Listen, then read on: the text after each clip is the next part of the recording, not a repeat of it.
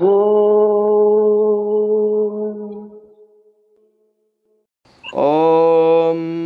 तत्पुरुषाय विद्महे वक्रतुण्डाय धीमहि तन्नो दन्तिः प्रचोदयात्।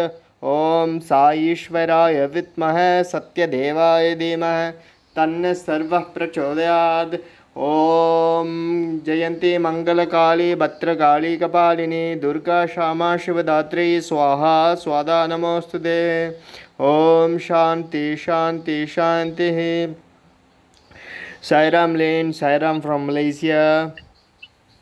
Sairam Sharma, Sairam from New Thailand, west coast of the North Island. Sairam to our, our listeners, wherever you may be. We send you loving Sairams. Thank you, Swami, for allowing us to relate this small but very punchy story about merging with Swami. The title of our talk is Swami, I Want to Merge in You. These words were spoken to Swami in private interview by a very portly man. He was quite a large fellow. And he said, uh, Swami asked him the classic trick question, What do you want? The man replied, Swami, I want to merge in you. And Swami replied merrily, But you are so big and I am so small because this man was six feet and probably 200, 300 pounds, and Swami is five foot four and 108 pounds, as we know. Now, Swami was joking, of course, but in a more serious um, uh, vein, let's look at this. How many of us have thought, oh, I want to merge with Swami? I want to leave this cruel world. Couldn't I just merge with Swami? And this was often a desire that was expressed in the ashram. I heard people say this I want to merge with Swami. Do they really know what they're talking about? Swami has a very different uh, description of what merging with God is. And he says the purpose of spiritual education, or Brahma Vidya, is to enable man to have a vision of the divine in society. And that is seeing God in everyone. Now, the person may not be the, you know, the mo- your most favorite sandwich in the picnic. He may be someone who you don't like, but Swami wants us to at least see that being as God. Doesn't mean we have to let him in and give us our checkbook, but make him a cup of tea if he is an unpleasant character.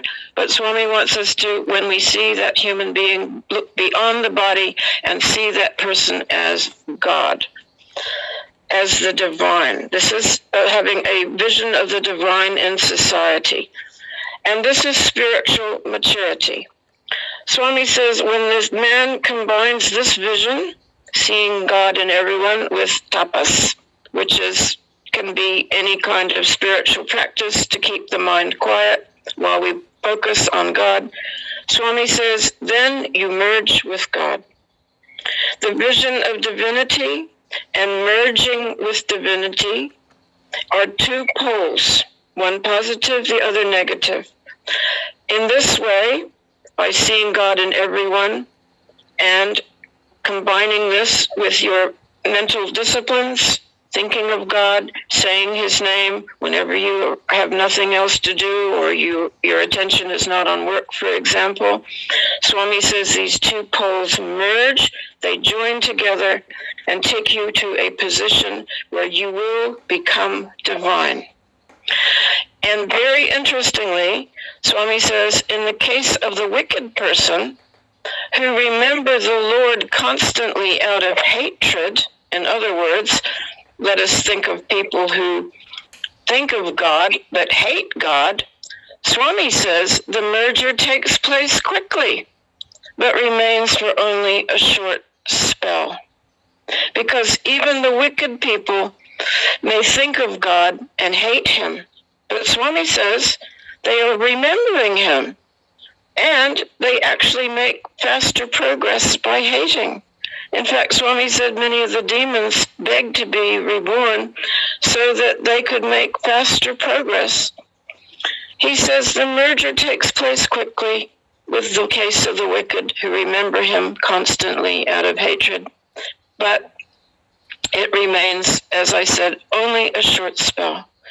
The merger of the soul and the divine takes place for different reasons. For example, in the case of Kamsa, it was fear of Krishna, which made him always remember Krishna. Hatred in the case of Sishupala and Dantravakra. Maternal affection in the case of Yashoda, who merged in Krishna through love. The Gopikas merged in the Lord through single pointed devotion, and Radha merged in the Lord owing to her sense of spiritual oneness. She saw herself as one with Lord Krishna. All attained merging with God, but Swami said in each case it was up to a specific level. Let us all see everyone as divine. Let us not judge. Let us forever be chanting his name. Let us forever keep our mind on him. Let us all merge in bliss with our divine Lord. Om Shri Sai Ram. Om Shri Sai Ram. ॐ तस्मात् कारुण्यभावेन रक्ष रक्ष साईश्वर हरि ओम तत्सत श्री साई ओम शांति शांति शांति।